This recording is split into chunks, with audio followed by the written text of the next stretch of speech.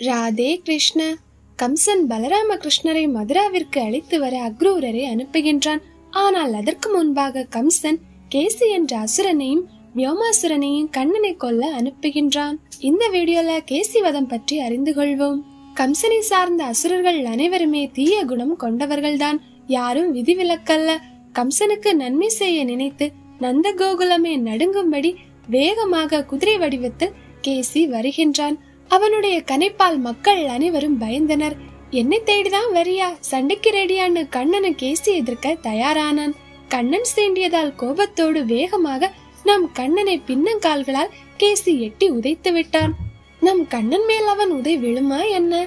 கண்ணன் அதிலிருந்து எஸ்கேப் ஆகிட்டான். கண்ணன் கோபத்தையும் கேசி இதுவரை பார்த்ததில்லை. இனி கண்ணன் கேசியின் பின்னங்கால்களை பிடித்து இழுத்து அப்படியே சுற்றி சுற்றி தூக்கி வீசி எறிந்து விட்டான். பாவம் கேசியும் மயக்கமாகிவிட்டான்.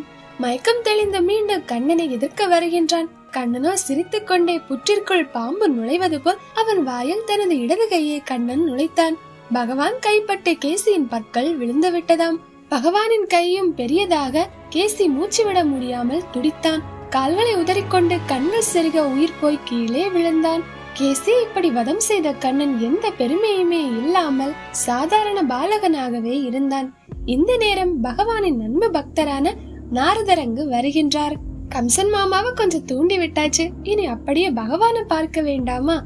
கண்ணனை தனியாக அழைத்து நாரதர் பேசுகின்றார். அளவிட முடியாத பெருமையுள்ள யோகேஸ்வரா அனைவர் உள்ளத்தில் விளங்குபவரே பேராற்றல் கொண்டவரே தம்மையே எங்கும் காண்கின்றேன் என்று நாரதர் பணிகின்றார். அரசர்களாக பிறந்த அரக்கர்கள் மற்றும் வேறு பல அரக்கர்களை அழிக்கவும் தர்மத்தை காக்கவுமே பகவானின் அவதாரம் நிகழ்ந்தது. அதை எண்ணி நாரதரும் பகவானே குதிரையாக வந்த அரக்கனை நல்ல வேளை எளிமையாகவே கொன்றுவிட்டீர்கள். சர்வேஸ்வரா நாளை மறுநாள் நீங்கள் சாணூரன் முஷ்டிகன் மல்லர்கள் குவாலைபீடம் என்ற யானை மற்றும் கம்சனை கொல்லப் போவதை நான் காணப்போகின்றேன் அதைத் தொடர்ந்து சங்காசுரன் காளியவானன் முரன் மற்றும் நரகாசுரனை கொல்லப் போவதையும் பாரிஜாத மரத்தை கொண்டு வருவதையும் அதில் இந்திரன் தோல்வி அடைவதையும் நான் காணப் போகிறேன். ஜெகத் ரட்சகனே வீரத்தையே கன்னிகைகளுக்கு தட்சிணையாக கொடுத்து வீர கன்னிகைகளை நீங்கள் விவாகம் செய்ய இருக்கின்றதையும் நான் காண்பேன்.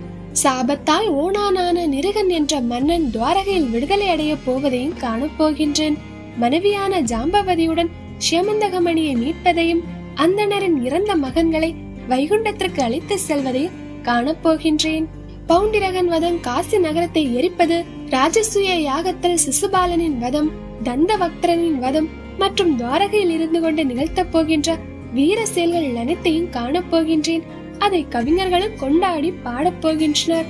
இன்று நாமும் அதையே கொண்டாடி பாடுகின்றோம். அதன் பின் உலகின் சுமையை குறைக்க கால ரூபனாகி அர்ஜுனனுக்கு தேரோட்டியாக இருந்து பல அசௌனி படைகளை அழிக்கப் போவதை காணப்போகின்றேன் என்று பகவானின் இனிவரக்கூடிய லீலைகள் பற்றி நாரதர் கூறுகின்றார் மாயைக்கு தலைவன் மாமாதவன். ஆனால் இப்போது அதே மாயையால் மனித உருவம் எடுத்து விளையாடிக் கொண்டிருக்கிறார்.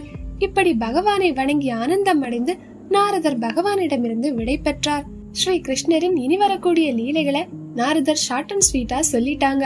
இனி வரக்கூடிய டேஸ்ல இந்த லீலைகளை எல்லாம் நம்ம தெளிவா தெரிஞ்சுக்கலாம். கேசியை மாய்த்து கேசவனும் கோகுல மக்களுக்கு இன்பம் அளித்தான். ஜெய் கேசவ கிருஷ்ணா. இந்த வீடியோ உங்களுக்கு பிடிச்சிருந்தாலும் மறக்காம வீடியோவை லைக் பண்ணுங்க ஷேர் பண்ணுங்க கமெண்ட் பண்ணுங்க.